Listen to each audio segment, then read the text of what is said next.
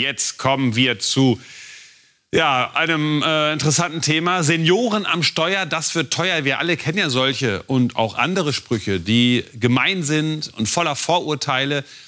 Dennoch will die EU die Regeln für Führerscheininhaber ab 70 Jahren verschärfen. Die Debatte darüber läuft, seit Monaten und noch in diesem Jahr soll konkret entschieden werden. Doch was denken Sie über das Fahren im Alter? Ein tödlicher Zusammenstoß auf der A38, verursacht von einem 80-jährigen Falschfahrer.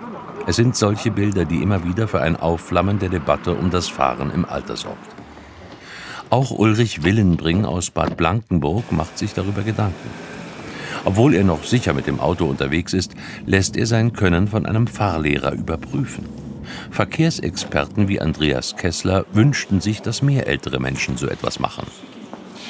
Fahrtauglichkeitsprüfungen sind nicht verpflichtend in Deutschland. Was man machen kann, man kann einen Fahrlehrer bitten, doch mal eine Runde mitzufahren. Dann fährt man mal eine Stunde mit einem Fahrlehrer und lässt den, der ja neutral ist, der ist ja Dritter sozusagen, beurteilen, wie fahre ich denn eigentlich. Denn die Sicherheit im Straßenverkehr ist wichtiger als die Freiheit des Einzelnen. In einer nicht repräsentativen Umfrage von MDR fragt wollten wir wissen, wie Sie das sehen. 60 Prozent der Teilnehmer sind der Meinung, dass Verkehrssicherheit wichtiger ist als Selbstbestimmung bis ins hohe Alter. 32 Prozent sehen das anders. Im Jahr 2022 waren in über 68 Prozent der Fälle über 65-jährige Hauptverursacher eines Unfalls. Bei den über 75-Jährigen waren es sogar über 76 Prozent. Deutliche Zahlen. Aber wie empfindet das die MDR fragt Gemeinschaft? Sind ältere Autofahrer wirklich ein Verkehrsrisiko? In allen mitteldeutschen Ländern sagt die Mehrheit Nein. Ein Vorschlag, der auch oft diskutiert wird, Ärzte sollten ältere fahruntaugliche Personen der Polizei melden. Das sehen viele kritisch. Ich glaube, Selbstbestimmung ist das Entscheidende. Ich finde es korrekt, weil es leider doch manchmal so ist, dass die Senioren es im Alter nicht mehr so einschätzen oder wahrhaben wollen, dass es nicht mehr so ganz funktioniert. Bin ich strikt dagegen, weil das eigentlich die Ärzte nicht dafür zuständig sind. Das sind doch keine Polizisten. Also eigentlich ist es ja ein Einschnitt in die Privatsphäre. Aber wenn ich fahre und ich sehe alte Leute, wie sie fahren, dann wünschte ich mir, es würde jemand geben, der das weitergibt, dass sie kontrolliert werden. Weil es einfach ganz schrecklich ist. Auch wenn ich mal älter werde, das ist eben so. Fest steht, die EU will 2024 die Regeln für den Führerschein reformieren. Besonders für Führerscheininhaber ab 70 Jahren sollen Änderungen kommen. Noch ist nichts entschieden, doch gerade in Deutschland regt sich großer Widerstand gegen die geplanten neuen Regeln. Die Debatte ums Fahren im Alter geht also munter weiter, zumindest solange bis es klare neue Regeln gibt. Das Thema beschäftigt ja irgendwie wohl jeden. Deshalb fragen wir nochmal nach, und zwar dort, wo man sich mit Fragen und Antworten genauer auskennt, bei Claudia Reiser aus der MDR Fragt-Redaktion. Claudia, grüß dich. Hallo. Wie viele äh, Mitglieder haben denn mitgemacht aus der MDR Fragt-Community bei dieser Befragung? Na, an der Befragung, da haben sich mehr als 28.000 äh, Teilnehmer beteiligt mhm. aus Sachsen, Sachsen-Anhalt und Thüringen.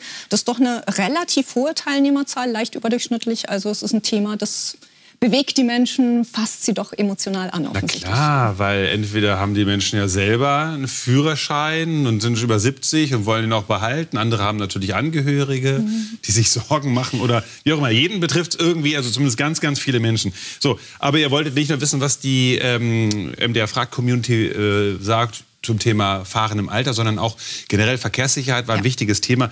Es äh, war auch die Frage, ob es erste Hilfe Auffrischungskurse geben sollte, und zwar für alle die einen Führerschein haben, nicht nur für die Älteren.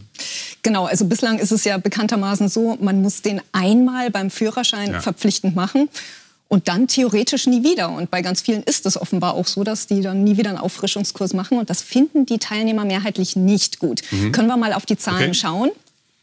Und zwar sagen nämlich 72 Prozent, also fast drei Viertel, dass sie es gut fänden, wenn solche Auffrischungskurse verpflichtend wären. 24 Prozent fänden das nicht, äh, nicht gut. In welchem Turnus das dann passieren müsste, also wie häufig diese Auffrischungskurse mhm. stattfinden sollten, das müsste man dann natürlich defini definieren. Aber an sich fänden es die Leute gut. Ein Teilnehmer aus dem Erzgebirgskreis hat zum Beispiel geschrieben, ich habe schon zweimal Auffrischungskurse mitgemacht, freiwillig, und dabei gemerkt, wie viele Fertigkeiten man schlicht vergessen hat oder sich auch manche Erste-Hilfe-Techniken gegenüber früher geändert haben. Ja. Also das ist seine eigene Erfahrung. Schaden könnte es nicht. Das, glaube ich, da könnten wir uns alle mit äh, verständigen auf diese Aussage. Und was auch noch wichtig war, ähm, Andreas Kessler hat es im Film gerade schon angesprochen, ob es vielleicht so verpflichtende Testfahrten mit einem Fahrlehrer geben hm. sollte. Also im Prinzip, dass so, so diese Verkehrssicherheit gestützt wird, indem man einfach nochmal so Auffrischungskurse in der Praxis macht. Genau, also wir wollten generell wissen, welche Maßnahmen denn die Teilnehmer befürworten würden. Auch da können wir noch mal auf die mhm. Zahlen schauen. Und zwar wären 57 Prozent dafür, dass es verpflichtend regelmäßige Gesundheitschecks generell geben sollte. Ja.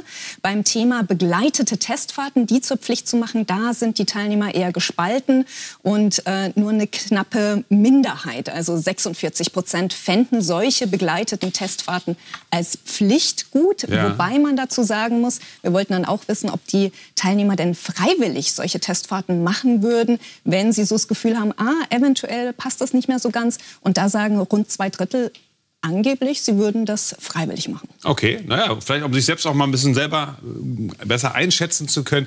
Aber da hat man ja gesehen, auch an den äh, Beteiligungen, an den Ergebnissen, was das für ein doch sehr, sehr äh, spannendes Thema ist und viele Leute bewegt. Claudia, vielen, vielen Dank und äh, bis demnächst mal wieder. Auf jeden Fall.